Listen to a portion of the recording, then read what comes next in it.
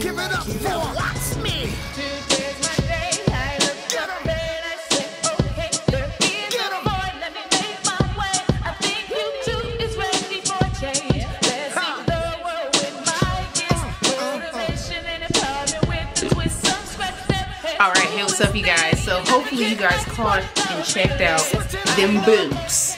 Sole Society. I was sent these boots. Now, all these jewelry clubs, clothes clubs, shoe boot clubs.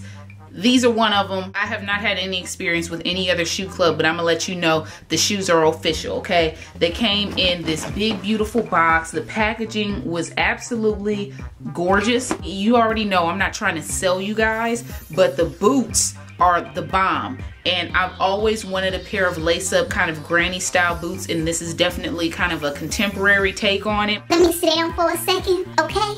All right. They are a beautiful chocolate brown and what got me was the fact that they had this gold hardware on there. So you get your lace ups and it is actually functional but you have the side zip to get in and out okay? Look at your grip so all of my ladies like myself I can't do the slippery shoes. I'll have a link below just in case you guys wanted to check it out.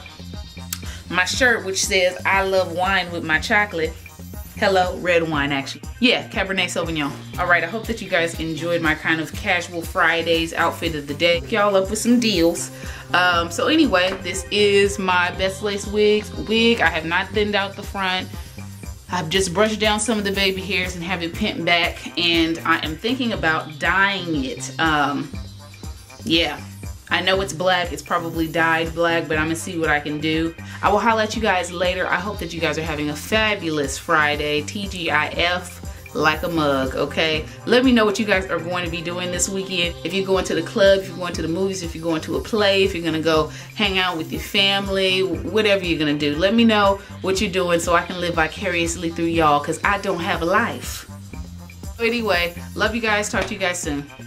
Bye. Hugs.